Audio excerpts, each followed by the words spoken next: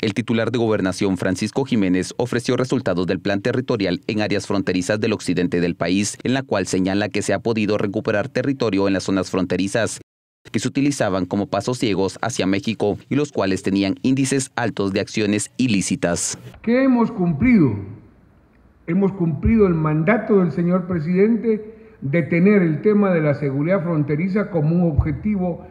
de seguridad nacional, pero también de seguridad ciudadana. Datos preliminares reflejan que hemos realizado 845 operativos y 137 incursiones estratégicas, para la cual se han utilizado 16.495 agentes de la Policía Civil en conjunto con elementos del Ejército de Guatemala. Ha habido 2.645 desplazamientos en autopatrullas, 233 sobrevuelos con drones, 252 identificaciones de huellas digitales para identificar a sospechosos. La presencia permanente de efectivos policiales y militares han llevado tranquilidad a los habitantes y un enorme desasosiego a los grupos delincuenciales, para quienes nuestros patrullajes conjuntos han servido de disuasivo para que se abstengan de cometer sus fechorías porque cuentan, porque sienten de cerca el peso de la ley. Según las autoridades de gobernación, se ha llevado a cabo un análisis específico en cada frontera enmarcado dentro de los planes de seguridad ciudadana.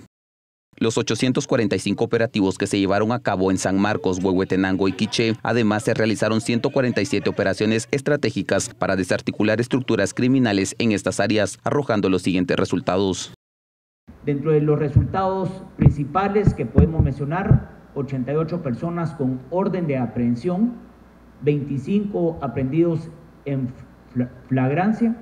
14 armas de fuego incautadas, 13 tolvas cargadores incautadas, 246 municiones y 5 teléfonos incautados que ahora están sirviendo para investigaciones que están realizando las eh, dependencias especializadas que tienen competencia en la materia. También se decomisaron 10 vehículos,